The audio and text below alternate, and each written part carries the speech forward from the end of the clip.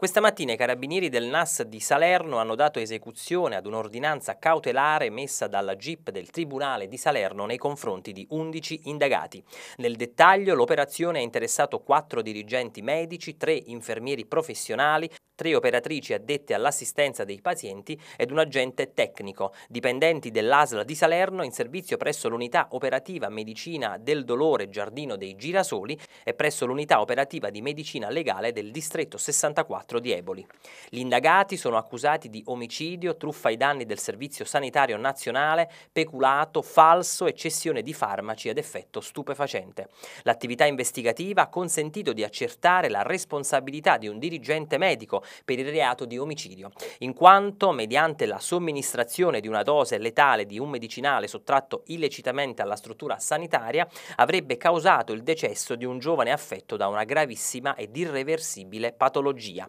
Gli altri indagati invece avevano un totale rapporto di infedeltà nello svolgimento dell'attività lavorativa, non eseguendo le visite domiciliari ai malati terminali anche se ne curavano la certificazione, attestando falsamente la presenza nella sede di servizio. Uno degli undici indagati è stato sottoposto agli arresti domiciliari, mentre nei confronti degli altri è stata disposta la sospensione dalla professione per 12 mesi. A seguito di questa denuncia dell'ASL noi abbiamo, fatto, diciamo, abbiamo iniziato degli approfondimenti. Già i primi approfondimenti lasciavano trasparire che mh, la gestione professionale di questi dipendenti era una, eh, era una, gestione totalmente illecita e non rispondente ai doveri di diligenza che sono propri dei pubblici eh, funzionari. La percezione poi di questo omicidio diciamo, è stata una chicca che non era ricercata come progetto investigativo dalla Procura ma su cui abbiamo avuto un'ottima intuizione e eh, gli approfondimenti tecnici su questa intuizione hanno confermato quello che emergeva dalle conversazioni telefoniche intercettate. Io diciamo, l'unico rammarico è aver determinato uno sgomento nei confronti dei familiari di questo ragazzo perché mentre piangevano questo ragazzo per una morte naturale, pian piano hanno razionalizzato che non si trattava di una morte naturale ma di una morte indotta, quindi potete benissimo immaginare che trauma hanno subito. Nel caso che abbiamo accertato noi, eh, un giovane battipagliese eh, affetto da un cancro in fase terminale, ricoverato presso un ospedale fiorentino, aveva espresso il desiderio ai genitori di trascorrere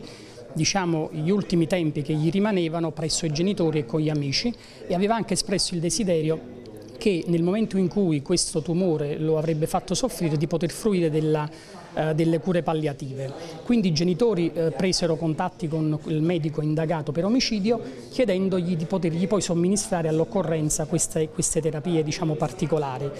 In realtà risulta eh, da eh, telefonate anche coeve alla, alla, stessa, allo, alla stessa, circostanza che eh, il, il, medico eh, ha eh, iniettato un farmaco, il midazolam, in una dose eccessiva eh, rispetto a quello che era previsto anche dalla letteratura scientifica, causando così deliberatamente la morte del giovane. In effetti la sua azione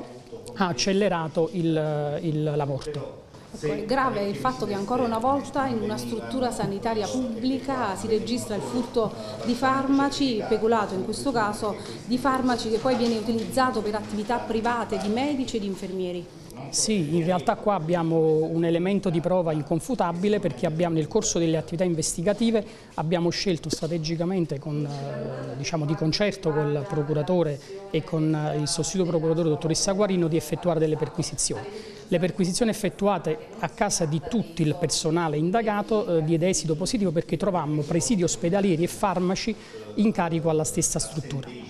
Sì, in realtà riuscivano ad approvvigionarsi perché non c'erano i controlli eh, diciamo, previsti, quindi ciascuno poteva andare e prendere i farmaci che volevano, cosa che poi realmente è accaduta. Come avete sentito in conferenza stampa, purtroppo queste cure legislativamente previste, così come ha detto il dottor Cannavale, non venivano completamente date. Ed è più spiacevole perché